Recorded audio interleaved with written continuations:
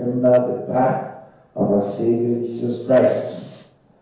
We give God all the glory and the presence of God and the joy of the birth of our Savior be manifested in every one of our lives. Let us pray, Jehovah.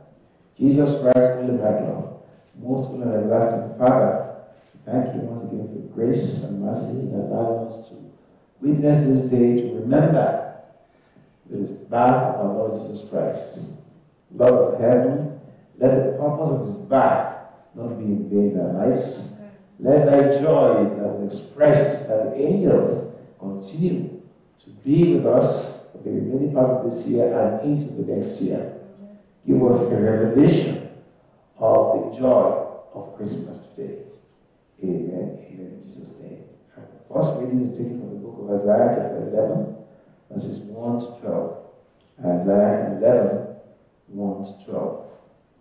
And here we see the prophetic message about the Messiah that is coming to this earth, um, what he will be like and what he will be doing, what he will be coming to do. So this message can be titled The Appearance of our Savior.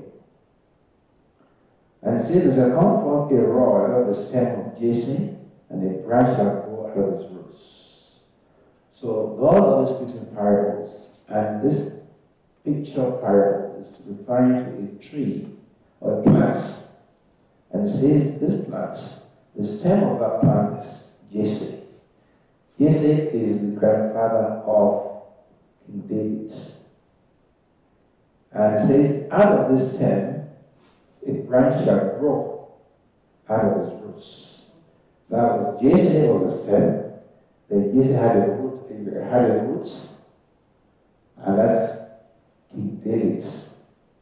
And then King David, out of King David came a branch. See how God describes it, generations. First of all, she will come from a rod out of the stem, Jesse. That rod is King David. And a branch out of the roots of this rod. You know, Jesus did not descend directly from David. It was several generations afterwards. 14 generations, actually. You go to Book Matthew, describes that. Now, out of those descendants of King David came our Lord Jesus Christ. You know, frequently our Lord Jesus Christ is described as the Son of David. Remember when Black Bartimaeus saw him, he said, Son of David, have mercy on me. See, the Bible, they say Son of David, don't mean direct son. It means the descendant of King David. See, so already the prophet was given this prophetic message by God and he shared it. That that shall become a branch. That branch is capitalized. And this is just this is no ordinary branch. This is a branch from heaven. Shall go out of his roots of King David. Let's go to Jeremiah 23, verse 5. And Zechariah 3 8. Zechariah 3 8 says that Hear now, O Joshua the high priest, thou and the fellows that sit before thee, for their men wondered at, for behold, I bring forth my servant the branch.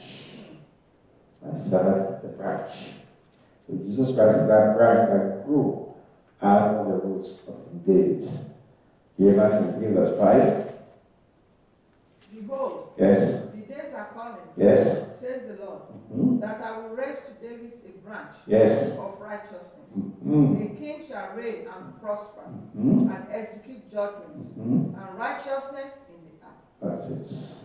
And it continues, says, In his days, Judah shall be saved, and Israel shall dwell safely.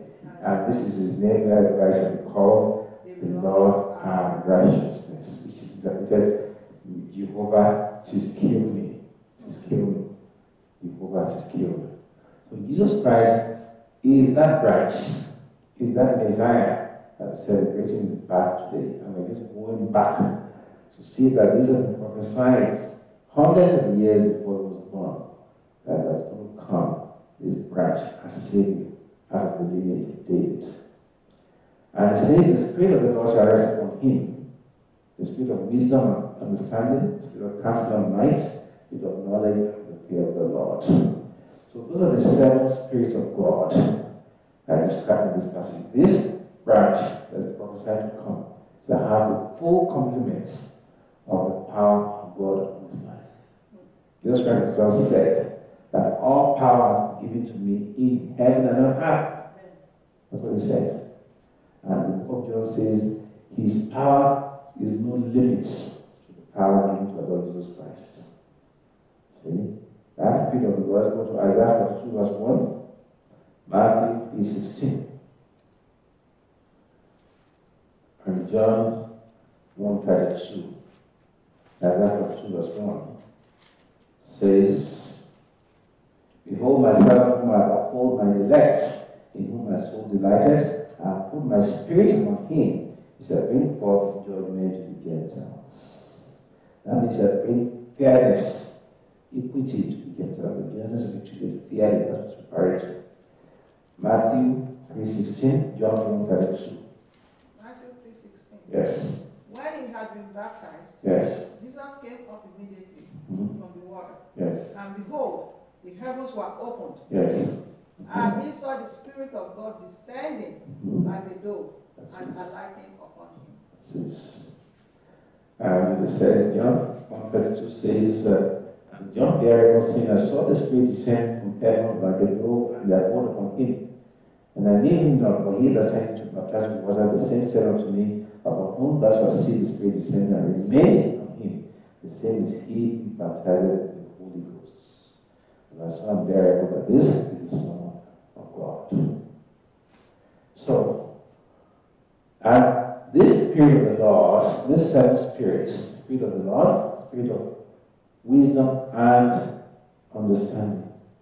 Making three. Spirit of counsel and might. Might is power. The spirit of knowledge and the fear of the Lord. All those spirits, the full spirit of God rested on our Lord Jesus Christ. Meaning that if you're a follower of Him, you will have one or two of the spirits on you, guiding and guiding you to lead you into his kingdom. Said, and this spirit shall make him of quick understanding in the fear of the Lord. What does that mean? That means he would naturally fear the Lord. That would be his nature. He would not want to sin, which is the common human nature. So Jesus had a godly nature in him, not the human nature. In any case, he wasn't born of a man or a woman. He came from the heaven. The Holy Ghost was his dad. He did not have a human dad. Mary was just a surrogate mom. Some people think that Mary had a part in Jesus. No. Mary just carried womb. The womb the, the, the ovum, the infant was deposited in the womb of Mary. And Mary just carried that baby and delivered the baby. Mary had no part. There is no human part to the body of Jesus of heaven. You see, nowadays we have surrogate moms who do it for a living. They carry people's pregnancies for them. And they pay them huge sums of money 40,000, 70,000 to carry the baby to birth and deliver the babies. And after that, the parents come to carry and take the babies. So it is possible. Surrogate mother was in existence from the time of Mary, mother of Jesus Christ. So this spirit will make him fear the Lord. He shall have quick understanding. A deep fear of the Lord within. This is why Jesus Christ never sinned. Because that fear was resting on him. And he says, He shall not judge after the sight of his eyes, neither reprove after the hearing of his ears. Jesus Christ has said the same thing. He said, I don't judge according to what I see, but I judge according to what the Father tells me. So most of us judge people by what we see or we hear about them. No, Jesus Christ never did that. If that was the case, he would have gone to the house of, uh, you know, so many people who were healed prostitutes and house of Zacchaeus, because everybody hated Zacchaeus, they felt he was a sinner and corrupt tax collector, and Jesus went to eat in his house. See, because he saw something that other people didn't see in Zacchaeus. And he when he went to his the salvation has come to this house today. So you and I too, if we have the Spirit of the Lord in us, we will not judge people according to their parents, what we hear about them, what we see about them. You remember when God sent Samuel, Samuel, to anoint one of the sons of Jesse, the next king of Israel. When Samuel saw Eli, he said, Oh, this must be the one. Why? Because he judged Eli's appearance. He was tall and handsome and said, This must be the king. God said, No, I have rejected him. He said, Mine judges by outside appearance, but I judge by the hearts. I judge by the hearts.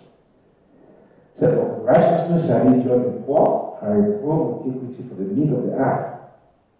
And shall smite the earth with the rod of his mouth and with the breath of his lips and display the wicked. That means the word of God shall be upon him. And with that word he will judge the nations. First of all, the righteousness shall he judge the poor.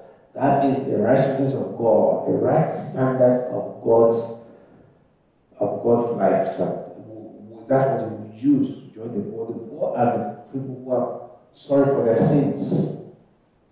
He will judge them the righteous standards of God and reprove that means rebuke the meek of the earth, rebuke the equity, the meek shall be judged fairly. You know, God is a fair God. Many of us don't know this God we. If you look in the Word of God, you see that God is extremely fair. There are so many examples. Um, well, one good example comes to mind is when uh, Jacob worked for seven years for Rachel, and on the night of his marriage, he was given another woman, Rachel's sister Leah, to be his wife. Now, the Bible says Leah had eyes that did not work properly, so he didn't like Leah because he judged by the parents. Now, because he hated Leah and wanted Rachel, he worked another seven years for Laban, his uncle.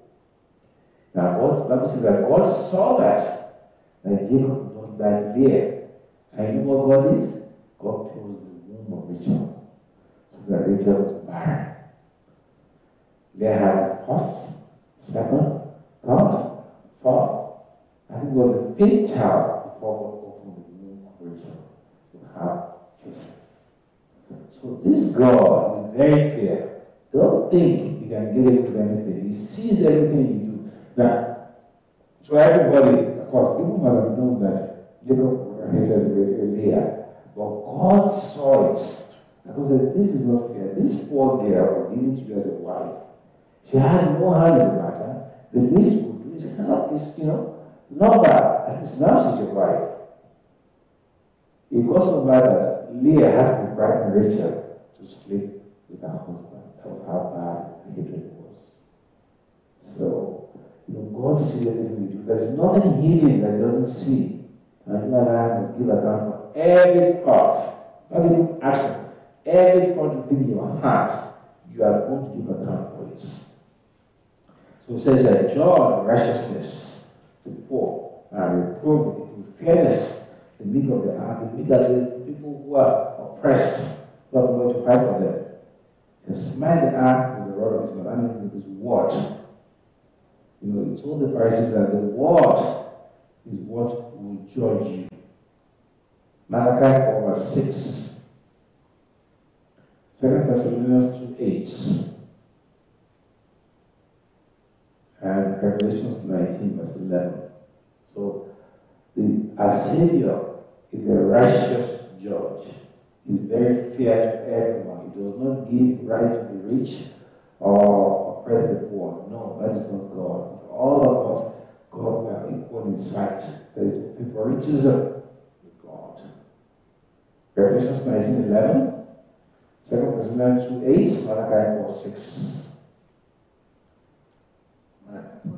Yes. And he will turn the hearts of the fathers Mm-hmm. to Mm-hmm. and the hearts of children to their fathers, That's it. lest I come and strike the earth with a curse. That's it. So that was prophesied by Prophet Malachi already. He turned the heart of the children to the fathers and vice versa. And Revelation 19:11 says, I saw heaven opened and behold a white horse. And he that sat on the horse was called faithful and true. and in righteousness he does judge and make war. Meaning that if you live a righteous life, what does righteousness mean? What does it mean? It means living according to God's standards, not according to man's standards. Most of us in this world live our life according to man's standards. How? What we see on television, what we read in the papers, everybody's doing it. Oh, let's join the moderates. Like today, nowadays, I, I watched a, uh, a, a short video clip on WhatsApp. This man, he said he was leaving America. Somebody asked him, ah, why? Why are you in America? He said, about 200 years ago, if you are homosexual, uh, you'll be quartered and killed instantly. They found you. Then he said, about 100 years ago, uh, they will fine you 200 pounds. Then, 50 years ago, uh, they would uh, caution you. He said, I'm living before they made homosexuality compulsory. That's what the man said. He said, I don't want to wait till they make it compulsory. So it just shows you that most the society lives in certain standards. But Jesus did not do that.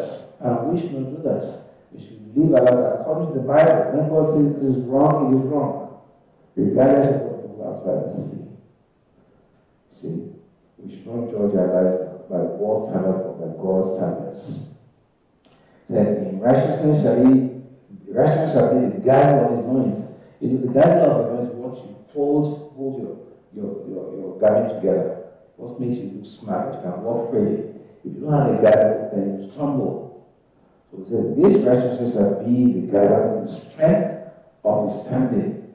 That's what will be righteousness will be that strength. Our faithfulness, the God of his reins. Again, his hands. The reins is the hands. So Jesus, our Lord, was righteous and faithful. Faithful means he will not disappoint. He will not fail. Most of us make promises only to be broken afterwards. So man's words are totally unlike, whereas God, whatever he says, he will bring to pass. Ephesians 6, verse 14. Ephesians 6, 14. So we can trust the word of God. Bible the inerrant word of God, means without error. You can base your life on it. You don't have to doubt it or, or, or question it. You can base your life. So our Lord Jesus Christ is righteous and faithful. Because of the righteousness, you can make war and overcome. You too. If your life is righteous and full of righteous deeds, godless deeds, holiness, you would overcome your enemies, your adversaries. Righteousness itself is a very strong, powerful force to overcome the force of darkness because light always overcomes darkness. Ephesians 6 14. Ephesians 6 14. Yes. Stand therefore. Yes. Girded your waist with truth. Uh-huh. Put on the breastplate of righteousness. Yes. And having shod your feet preparation of the gospel of peace. Yes. Above all, taking the shield of faith, Mm-hmm. with which you will be able to quench all the fiery darts of the right. And so it describes this coming Messiah, our Messiah, our Lord Jesus Christ, as the branch out of the roots of David, with the seven spirit of the Lord of him, the spirit of the Lord, the spirit of wisdom and understanding, the spirit of counsel and might, making five, the spirit of knowledge and of the fear of the Lord. All those seven spirits abided in the Lord Jesus Christ. Because of that, he had an innate, inherent fear of the Lord, such that he did not sin. He was not prone to sin like you and I. We human beings on this earth, you don't have to teach a human being to lie. Just go and say two year old or three year old and put some cookies on the table. He will take it, and when you ask him, who took these cookies? I don't know. He just deny it automatically because there is an inherent tendency in human beings to lie and to do something unbelievable. This is evil. This is why you are need to be born again because the way you are born, there's no way you can make kingdom of heaven. Because inside you, the sin is innate inside you, the sin of Adam is inside you and I. You have to be born again into the Spirit of God. But Jesus was not like that. He had the fear of the Lord in him. And he did not sin. He was the only human being that never sinned. And because of his righteous life, he overcome the force of darkness and defeat them. And with meekness, he enjoyed the poor as well. And then it goes on to the next two verses how in the millennium reign of Christ, Christ comes back to reign, so the wolf shall dwell with the lamb. You know, now the wolf cannot dwell with the lamb because of the sinfulness of this world. The wolf eats the lamb for food. But in that time, the wolf will live with the lamb, and the leopard shall lie down with the kid. Again, a contrast which is not possible today. But that day, the millennium of Christ, Christ comes back to this earth ready for a thousand years, the lion will lie with the kid, and the calf and the young lion partner together, and every child shall lead them. Now it goes on to say the cow and the bear shall feed. Again, the bear feeds on the cow. The young ones shall lie down together, the man shall eat straw like the ox. Have you ever seen a lion eating straw like the ox? No. But it will happen in the millennium of Christ. There will be complete peace at that time when that happens. A complete peace on this earth. There will be no more killing, no more lying, no more disaster, no more rape. All these bad things will stop. For 1,000 years, there be complete peace on this earth. Can you imagine that? It's difficult to imagine because now everything is dark and bad. Say the little child shall play the role of the cobra, and the little child of this kind of cobra to again, very, very venomous snake, and they will not harm the. It is sin that causes death and destruction. Where there is no sin, there is no death, no destruction, that will happen. Satan will be in prison for 1,000 years. And because he's in prison, he will not tempt men, he will not deceive men. So men will naturally leave how God planned for them in the Garden of Eden. The complete peace. He says, They are not hurt nor destroyed in the holy mountain, for the earth of the knowledge of the Lord, and the cover the sea.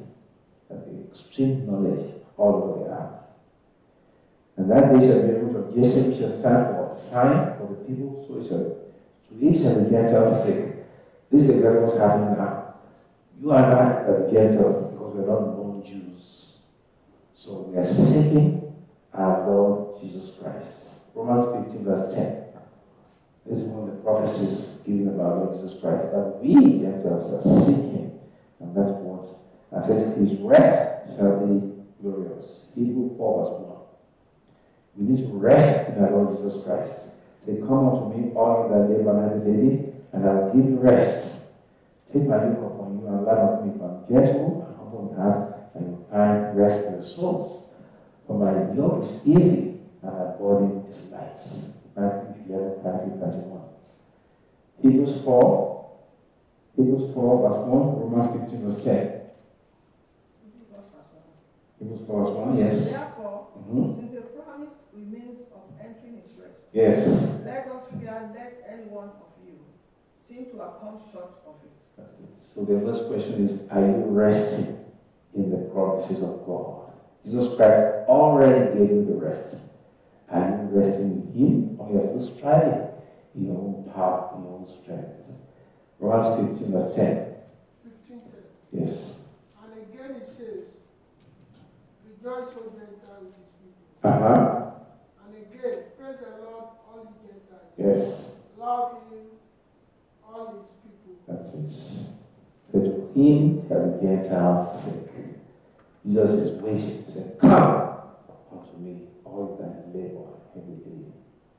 Are you labored and heavy laden in your life? You've been struggling your own, cope with the problems, and it's getting too much. Jesus is waiting for you to surrender and to cast all your anxieties on Him today. That's why He went to the cross to do that for you. You know, and it says that it come to pass that that day the Lord shall set his hand again the second time to recover the remnants of his people from Assyria, Egypt, Patmos, Cush, and Ethiopia, Sinai, China, Hamath. A sign to the nations, shall assemble the outcasts of Israel, and gather together the despised of Judah from the corners of the earth. Again, this prophecy is being fulfilled right now. All the Jews from all over the world are coming back to Israel, and there are special lands being uh, prepared for them. There are built buildings for them. If you have Jewish ancestry, you can claim the Jewish roots by going to a Jewish embassy and they'll fly you back to Israel you want to go back. You see? So all these promises are being fulfilled. The Bible is completely true. And you and I can thank God enough for what He did by sending Jesus Christ to this earth. And that's what we're going to read in the next passage. Uh, that's called Luke chapter 2, verses 1 to 20. And it describes what happened at the birth of our Savior Jesus Christ. It says that it came to pass in those days that there was a decree sent of Caesar Augustus, and all the to be taxed. All the world, because the Romans were ruling the world at that time. And it says all went to be taxed, everyone in his own city. That means they have to register their names so that they could pay their appropriate taxes. If you didn't, if you are not registered, you are penalized severely. So Joseph went from Galilee, from Nazareth, to the city of David, that means Bethlehem. That's where he went to register because he came from the lineage of David. So those are the roots. And he came to be tasked with Mary, is a spouse child. Mary had, course, we know Mary had been given to him as his wife to be married. And in those days, usually they give the uh, girls to the men at around the age of 10 years. Around 10 years, they're very young. And the men don't do anything with them until they're mature enough, but they know that this girl, in another four five years, is going to be my future wife. So Mary had given to Joseph as his future wife. And uh, but we know what happened that even before anything was done between them, Mary was impregnated by the Holy Ghost. It takes a lot of faith for a man to believe your spouse wife is pregnant with the baby of the Holy Ghost. But God gave Joseph that faith to believe it. It has never happened again. That was called the Immaculate Conception. That means the perfect conception. No human sin was number Jesus Christ. So when they went to the tower, it says Mary went with Joseph, both of them, but she was already heavy with child, close to nine months. And you can imagine going to travel that distance. Maybe she was in a donkey, don't know, but maybe she was working, but the journey was too much for her, kind of put her into labor. And says that so it was that while were there, the deed were accomplished that she should be delivered. She went into labor. This is not surprising. Many women go into labor while shopping, while going to the market, while traveling, because the stress prompts and of, you know, encourages them to start. So, and says that she brought forth her firstborn son, and she wrapped in swaddling clothes. What does that mean? It means rags. One, they did not prepare to have a baby where they were going. They just went to be taxed. Two, there was no room in the hotel. The only place they could find for this young girl about to have a baby was in a manger. Do you know what a manger is? Is where they put the animals and their poo and their excreta and all those bad things. That was the only room. You have to ask, did anybody even give them a space in the house? Well, one, it was very urgent. Two, maybe there was nobody, I don't know. But our Lord Jesus Christ was born in a manger, the lowest of the low. The housing for the donkeys and asses, for animals, an animal house. That's where Jesus Christ was wrapped, wrapped rats. There was no decent hotel no park view hospital, no special nurses or midwives. She had the baby herself in a manger, surrounded by asses and donkeys, and the smell of their excreta. That was how he was born. What I'm want to tell you, your birth does not determine your future. You hear me? The family you are born in, the way you are born, does not determine your future.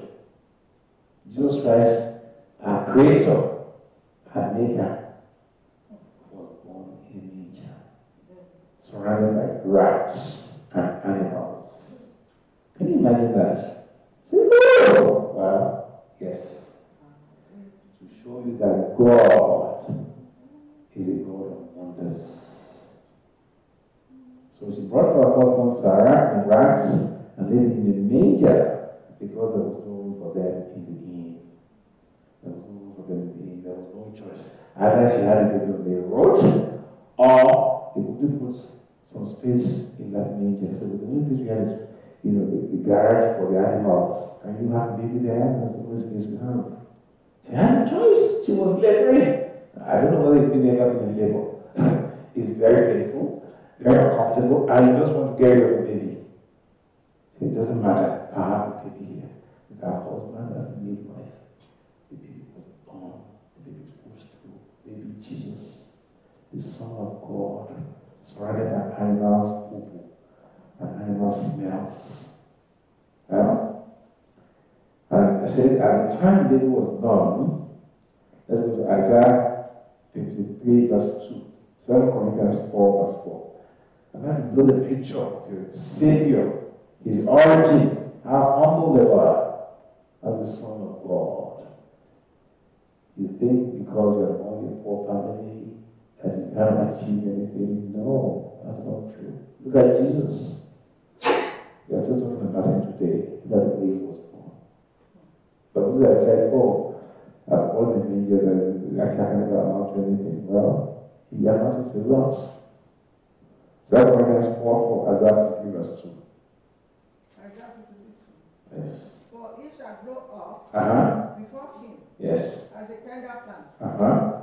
And as a root Yes. out of the dry ground. That's it. He has no form or comeliness. Uh huh. And when we see him, Yes. there is no beauty Uh huh. that we should desire him. You see, there is no beauty. Many of us think Jesus, so we use these pictures.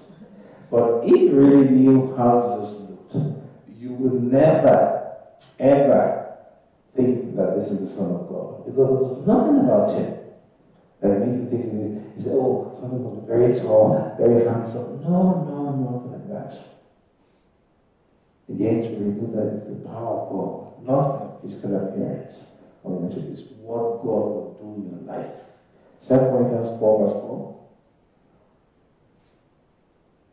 And that's 4 verse 4. four verse four, whose mind the God of these ages has blinded, Mm-hmm. who do not believe, the light of the gospel of the glory of Christ, Yes. who is the image of God, Mm-hmm. should shine on them. That's it. They've been blinded. Many people don't see Jesus. The Jews didn't see him as a savior. They say, how can, how can this man save us? You know, we know him, he was born. Look, we know his mom, we know his brothers, and he he's a savior. How can he save me? See? They, they were offended at him because of his origins, because they didn't see. They didn't see the truth in the spirits. And maybe you are like that. You are judging people at their parents, by how much money they have, uh, how, how big their houses are. No, don't judge by parents. Be like Jesus. Judge by the Spirit of God. And it says at the time he was born, there was, there were shepherds in the country abiding in the field by nights, watching over their flock by night. That immediately modifies the idea that Jesus was on December 25th, because in Israel, there is no human way shepherds would be out at night with the sheep. No. That only happens in the summer months because it's extremely cold there at that time. And no sheep would definitely be out at night at that time. So it doesn't matter if I celebrate but whether it's July again, it doesn't matter if I celebrate back. But these shepherds were keeping that flock by night, and suddenly the angel of the Lord came upon them, and the glory of the Lord shone around about them, and they were very afraid. Well, if you too saw the angel of the Lord, you'll be afraid because there's a special aura and fear around them. The glory of the Lord they carry will make you fall down and worship and bow down before them.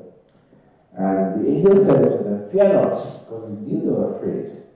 He said, For behold, I bring good tidings of great joy. Please note, good tidings of great joy. That's a double amplification. Good tidings and it's good news of great joy.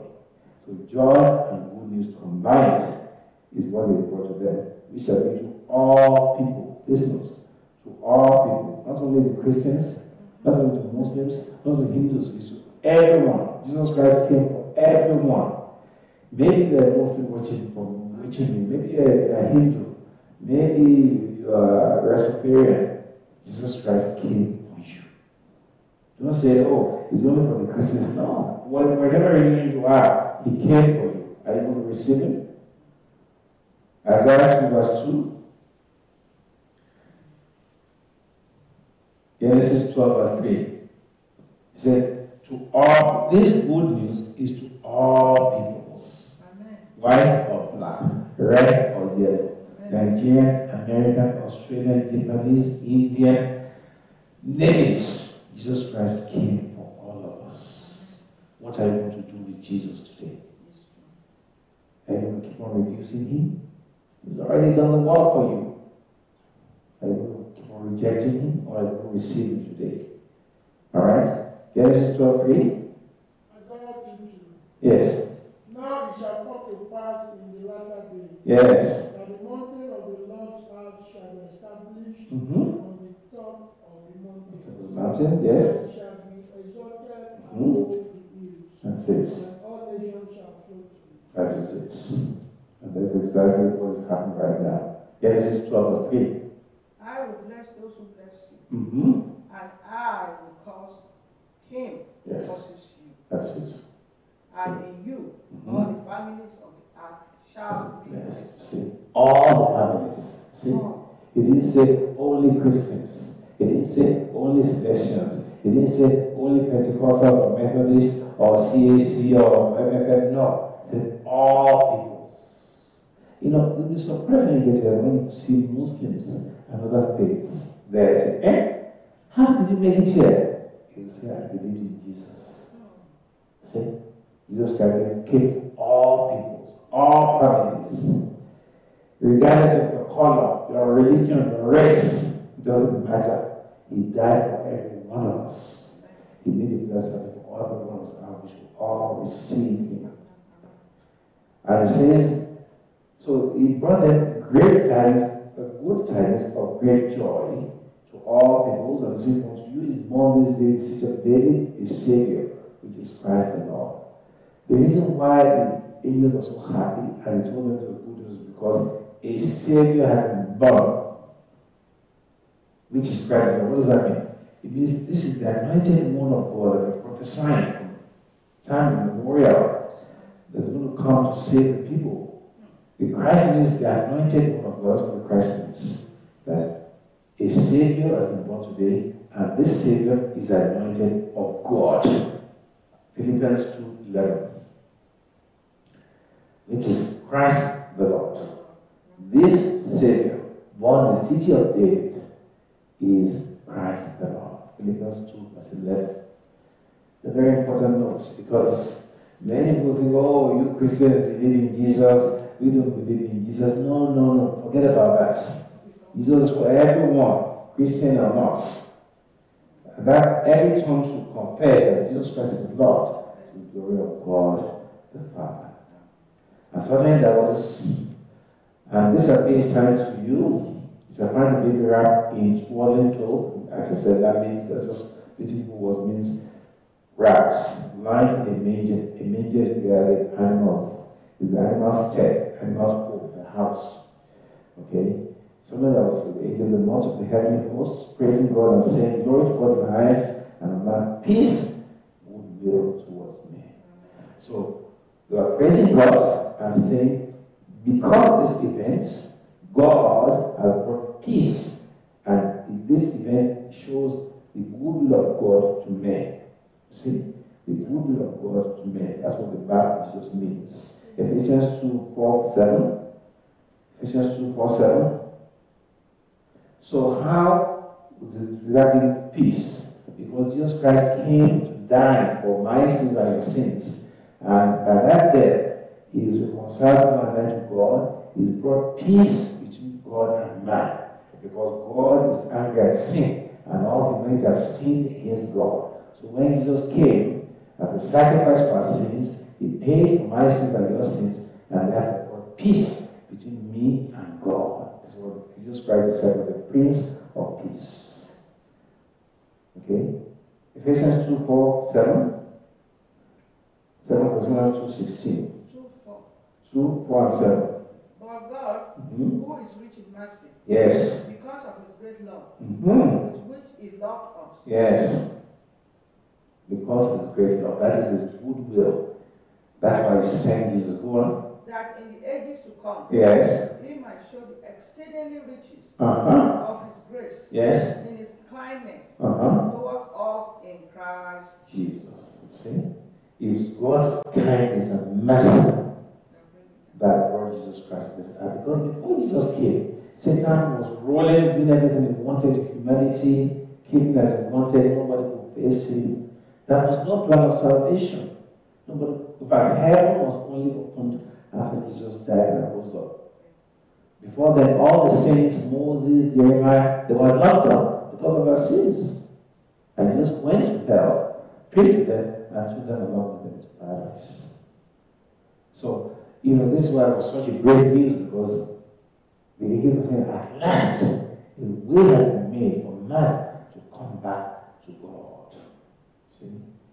Now, so he told them about the good love of God towards men, and as the angels were gone away from them to heaven, the shepherd said, Let's now go to Bethlehem and see this thing which is come to pass, which the Lord has made known to us. And the king haste, and Mary Joseph, and the babe lying in the. And when they had it, they made a brother saying, So Mary kept all these things in her hand. Of course, she could not imagine the magnitude of the child she had. Remember that Mary was a virgin, a pure virgin, before she had this baby. And there's no human way she could have known that she was giving birth to our Savior. Wow, what a revelation. Many of you belong to things that worship Holy Mary. Let me just tell you right now, that's a serious sin against God. You are committing idolatry.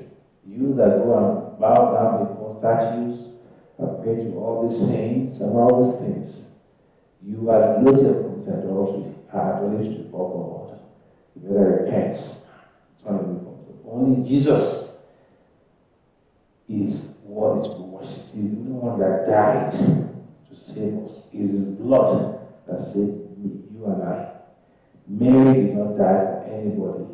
Yes, she was holy and pure. Yes, she was counted worthy to carry the baby Jesus. But that's it. She had other children outside Jesus. She had five other children. Jesus was not her only child.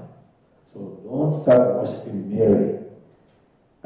Mary is not the mother of God. God has a mother. She has a human component to carry the baby, yes, but no. Jesus made Mary. Jesus is a creator. Alright? Even on the cross, he said, told John, said, John, that this woman, as a woman, leads to same mother. Jesus never called Mary her mother, her mother, not once in the Gospels. That says, woman, look at your son, son, look at your, look at your, mother. Was John the Baptist. Alright, so thank God for this revelation. And if you're watching me and you have not yet surrendered your life to Christ, don't delay it any longer because as we're celebrating the birth of our Lord Jesus Christ, remember the reason he came to this earth was to die. He came to die to save you and I from our sins and give us a chance to be with God in heaven. Don't delay it any longer. Coming to church does not mean you're saved. Doing good works does not qualify you for heaven. You cannot bribe your way to heaven buying a bus for the church or even building a, a building for the church does not mean you are going to go to heaven. You must be saved. You must receive Jesus as a personal Lord and Savior. Alright? So if you're ready, just say this simple prayer after me, Lord Jesus. I've sinned against God and man. I'm sorry for my sins. Have mercy and forgive me my sins today. Wash my sins away with the precious blood. Make me holy and pure. Come inside my heart and begin to rule and reign over my life. Take my name from the book of the dead and write my name in the book of life. And I promise to serve you all the days of my life. Thank you for saving my soul. In Jesus' name I pray. Amen. That's it. You said that prayer, you meant it. You are saved because Bible says that the mouth confess his lordship and your heart will confess its righteousness. Let us pray, Jehovah. Jesus Christ, God of all glory, we thank you for the of God to today. We thank you for the opportunity to celebrate the goodwill of God towards men and the peace he has brought to us through our Lord Jesus Christ. Let his back not be in vain in our lives. Let the purpose of his back be fulfilled in all our lives.